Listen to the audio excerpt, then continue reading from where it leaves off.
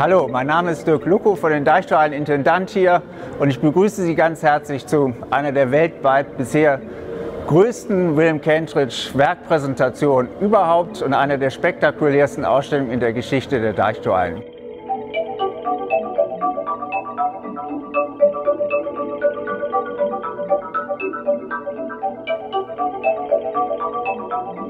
Die Ausstellung zeigt 180 Werke von William Kentridge zu einer gigantischen Gesamtinszenierung zusammengefasst, aus unterschiedlich strukturierten Böden, taktilen Wandverkleidungen oder Raum-in-Raum-Installationen, wie wir sie eben gesehen haben. Das ist alles natürlich zusammen mit William Kentridge und seinem Studio in Johannesburg zusammen entwickelt worden. William Kentridge ist 1955 in Johannesburg geboren. Er stammt aus einer jüdischen Familie, ist in einem apartheidkritischen Umfeld groß geworden. Sein Vater war Sidney Kentridge und er hat Nelson Mandela in den 1950er Jahren in einem sehr berühmten Prozess, den sogenannten Trigen Trials, erfolgreich vertreten.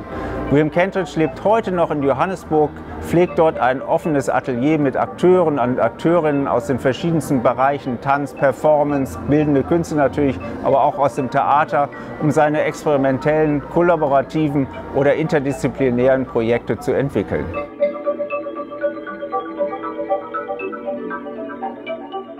Wir befinden uns hier in dem Atelier von William Kentridge, wo Kunstwerke im hohen Maße miteinander agieren. Das ist so eine Art Denkraum für ihn, wo alle Informationen zusammenfließen und sehr unterschiedlich geartete Werke zu sehen sind. Hier zum Beispiel sieht man stereoskopische Fotogravuren, die einem im wahrsten Sinne des Wortes den Blick scharf stellen, wo man Fotogravuren plötzlich dreidimensional sieht.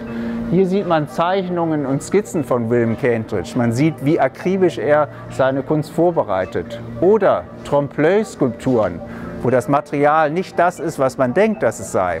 Man sieht hier eine filmische Dokumentation von William Kentridge in seinem Atelier. Er schaut sich sozusagen quasi selber über die Schulter beim Erstellen seiner Zeichnungen. Ein Universum aus Kohlezeichnungen und Schattenrissen, die man da erkennt. Drama der Geschichte. Oder hier das Making-of der Ausstellung. Ja, mit der Gesamtinszenierung und den verschiedensten Materialien, die hier zum Einsatz gekommen sind.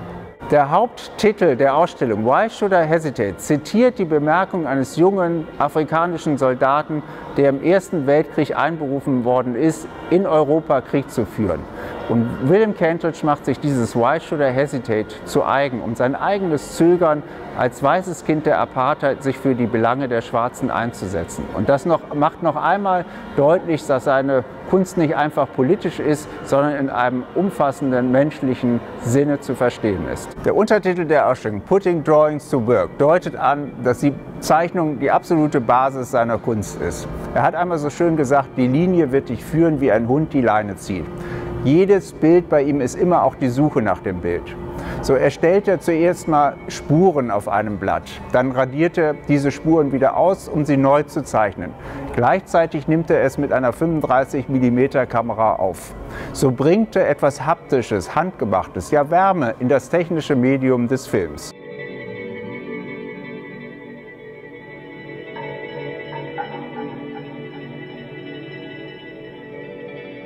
Das Faszinierende an der Kunst von William Kentridge ist ihr poetischer Kern, natürlich auch das Visionäre, aber vor allen Dingen auch die Intensität der Werke.